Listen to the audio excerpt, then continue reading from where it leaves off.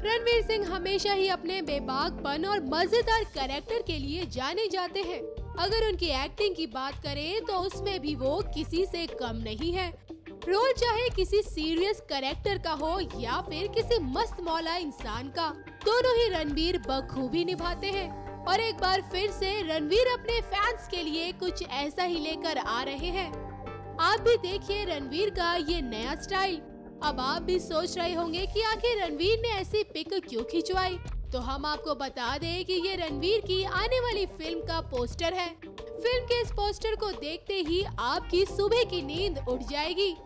जी हाँ इस पोस्टर में रणवीर बिल्कुल अलग ही किरदार में नज़र आ रहे हैं और उनका नया नवेला रूप देखकर शायद ही आप उनसे नज़र न हटा पाएँ।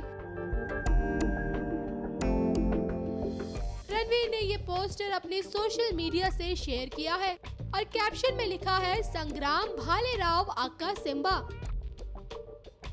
पोस्टर को देखकर साफ़ नज़र आ रहा है कि रणवीर इस फ़िल्म में एक पुलिस का किरदार निभाने वाले हैं, जिसका नाम है संग्राम भोले राव संग्राम भोले राव के रूप में रणवीर काफ़ी खुश नज़र आ रहे हैं। आपको बता दें कि रणवीर ये फ़िल्म रोहित शेट्टी के साथ कर रहे हैं।